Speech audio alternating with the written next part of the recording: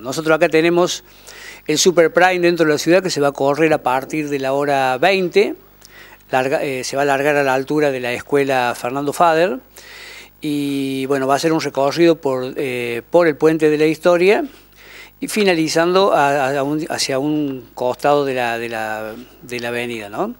O sea, eso se va a alargar a partir de la hora 20, como te decía antes, el público puede ingresar hasta la hora 19, va a haber, va a haber todo un sistema de vallas donde se va a poder ubicar la gente y sí rogamos eso, que, se, que, la gente vaya, el público vaya respetando esos lugares para no tener ningún tipo de inconveniente que pueda atentar contra este espectáculo. Después el día sábado, eso sería el día viernes a la noche. El día sábado a partir de la hora 9 se va a alargar en, en el kilómetro 496 hasta la escuela Joaquín B. González que está cerca acá de la ciudad, o sea, el kilómetro 496 hasta la escuela Joaquín B. González. Eso se va a alargar a partir de las 9 horas.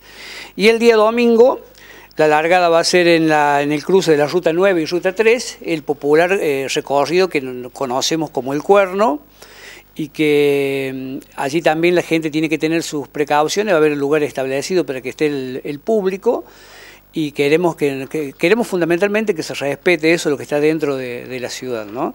y después la premiación va a ser el día domingo a partir de las 15 y 30 horas en el mismo club central donde es el parque cerrado donde normalmente se, se hace este tipo de actividades ¿no? lo más importante o las dos cuestiones más importantes son que bueno eh, nosotros estamos haciendo un esfuerzo importante para traer este espectáculo aquí a la ciudad y dotarla a Belleville de, de este tipo de eventos que congreguen y acerquen gente de la provincia a nuestra ciudad, la conozcan y puedan pasar un, tener una buena estadía.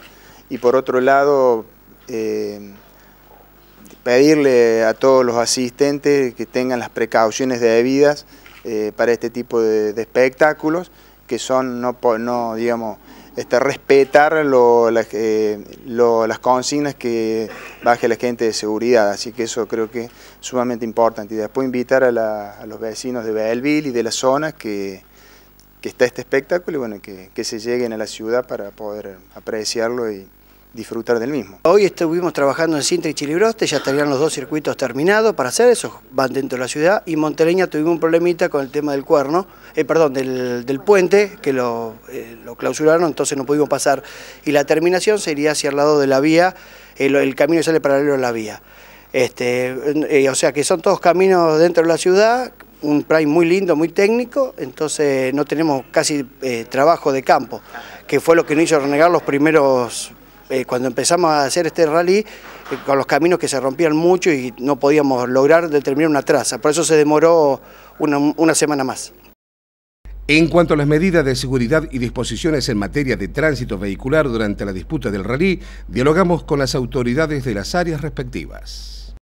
A partir del día jueves, en horas de la tarde, eh, la Jefatura Departamental ha dispuesto un operativo de seguridad para cubrir el evento en sí, el cual, como te digo, va a empezar a funcionar desde el día jueves.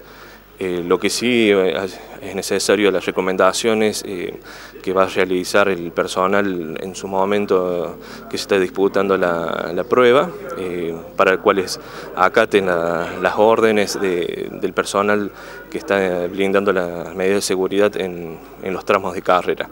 Para lo cual va a haber un horario estipulado para el cierre de, de los Prime, los cuales eh, no van a poder ingresar al tramo de carrera aproximadamente una hora y media antes del, inicio del, mismo.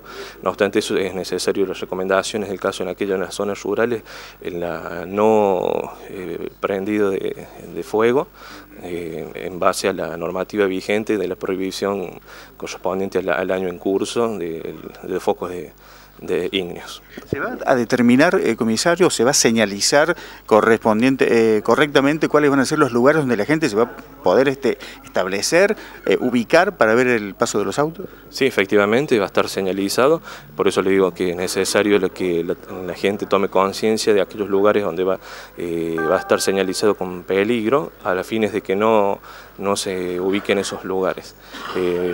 como así también para el, para el presente fin de semana, eh, se ha dispuesto también un operativo de, dispuesto para, el, para lo que es el, movimiento de vehículos y, y, el, y los lugares donde van a estar en el acontamiento. Bien, puntualmente lo referido al área de tránsito, vamos a tener en el día viernes eh, de media tarde este, en adelante, vamos a tener una interrupción de la circulación en inmediaciones del puente de la historia. Eh, va a haber personal en el área con vallas y bueno, va a restringir un poco el ingreso vehicular a la zona específica donde se va a desarrollar la competencia. Y por otro lado, el viernes por la noche y el sábado por la noche, en la calle Córdoba, en la cuadra del 200 al 300, van a, estar, van a ser parques cerrados los vehículos, así que también va a estar inhabilitada la circulación y bueno, esas son eh, únicamente las situaciones relacionadas con el tránsito. El viernes a la tarde en inmediación del Puente de la Historia y sábado a la noche, eh, viernes a noche y sábado a la noche en la calle Córdoba del 200 al 300. Bueno, nosotros hemos sido convocados para cubrir la parte, ¿no es cierto? Quedamos supeditados a lo que la organización lo ha solicitado, mayormente una unidad en cada largada, en la carga de combustible, ahí nosotros vamos a hacer y vamos a concurrir de acuerdo a las necesidades de APRIR, ¿no es cierto? Ellos son las primeras unidades que salen a cubrir la emergencia y después de acuerdo a la necesidad nosotros cubrimos eh, en el apoyo de eso. Panorama dialogó con algunos de los competidores de este rally. Bueno, el lunes trajimos el auto, así que esperando que, que empiece la carrera, ya el viernes a la noche, ya con el super especial. Muy bien. Bueno, ¿Qué reflexión te merece esto de que vuelva el rally a la ciudad de Belleville?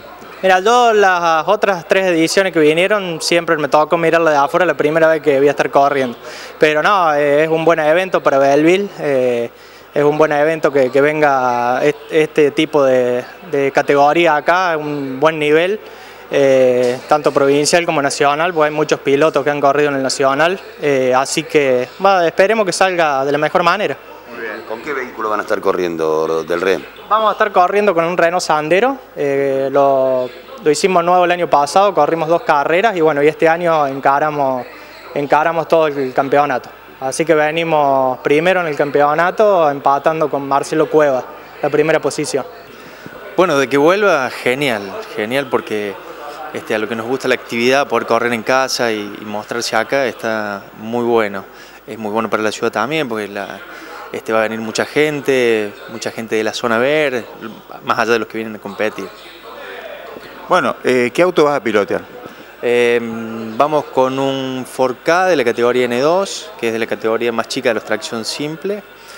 Eh, sí, bien digo, en la, categoría N2 me va a acompañar Darío como navegante, el cual estoy inmensamente agradecido porque hasta hace una semana atrás, 10 días, yo no, iba a correr por una cuestión de presupuesto recibo la invitación de Darío, así que bueno, muy agradecido a él, a su familia, a todo su entorno que han hecho un esfuerzo enorme para que podamos estar participando de esto, que es una fiesta y, que tanto nos gusta. Es una, es una actividad que siempre me gustó, nunca se me dio. Y bueno, este año cuando eh, Fernando me invita a que, me sume, eh, bueno, la idea era eh, competir.